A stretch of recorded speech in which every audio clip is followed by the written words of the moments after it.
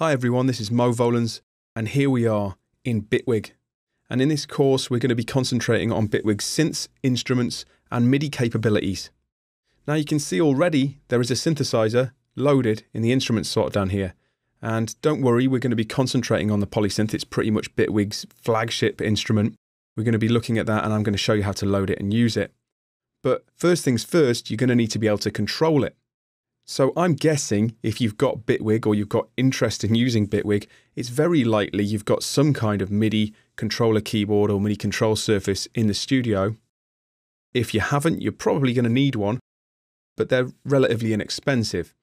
But once you've got it hooked up via USB or hardware MIDI interface, uh, 5 DIN pin, then you should be able to set it up without much hassle because there are actually two different routes for setting up a MIDI controller in Bitwig. So let's get down to it. We want to go to options and we want to go to preferences. Now, the first thing preferences is going to display is general audio controllers, uh, this sort of, these sort of tabs here. And obviously, you want to go straight to controllers. Uh, to set up you, your audio interface, by the way, you want to be in audio and just select the correct one. And that's pretty straightforward. It will then activate the first two outputs to your speakers. But we'll concentrate on the controllers for now, and you want to be in this tab. Now, there's two different methods for doing this.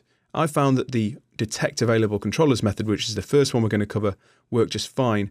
But you might find you need to use the second manual configuration mode, which I'm going to show you as well. So to detect available controllers, just click the button, wait a couple of seconds, and if you've got anything switched on and connected, it's very likely it's going to pop up nicely in the list for you there. One thing you'll want to do is ensure that you've got the correct uh, MIDI ports selected. I think it does them automatically but I noticed that at one point it did select the wrong ones. So just ensure that if it's not working, ensure that you've got the correct MIDI ports selected in your list. And then you should be able to hear some MIDI.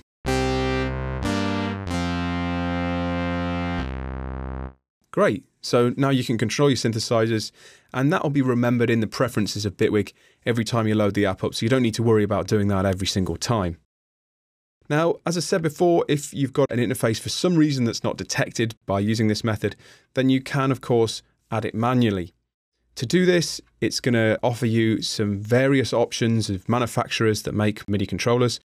I could go to my SL Mark II here, and it's automatically going to add one. The only difference with this method is that it doesn't automatically map the ports. So then select the correct ports and hit OK, and you should have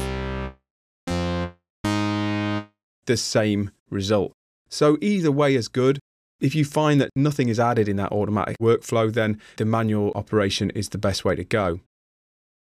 Now you'll notice that there's also a generic mode. So if you don't see your device listed in any of these manufacturers sort of drop down menus, you can just use the generic option and click MIDI keyboard, MIDI clock transmitter, or keyboard and eight device knobs, which is quite a common configuration.